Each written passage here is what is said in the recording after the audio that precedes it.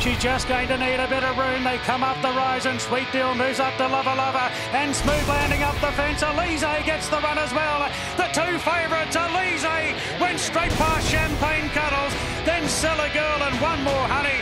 Hasn't she got a motor, Alizee? That was electrifying.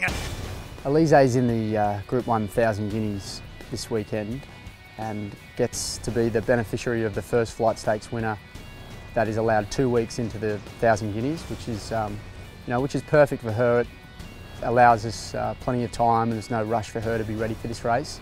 And also gave us the opportunity to ensure that she pulled up 100% from the flight stakes in order to press on with her campaign, where she'll now be sixth up for this Group 1. That aside, she's just seems to have done really well and we're all really happy with the way she's come through her Sydney Grand Final. I think if she can just stay at that level, then she's going to be uh, extremely competitive on the weekend. Alizee, what an exciting filly and what a dash of speed today. She's always had a huge wrap onto this filly. She's been work in progress and she's delivering the goods at the moment. She just glided around the Caulfield um, course proper on Tuesday morning.